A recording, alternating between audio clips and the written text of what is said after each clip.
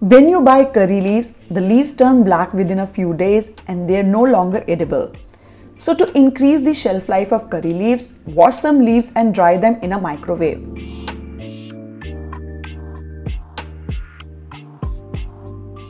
It becomes something like this when it dries.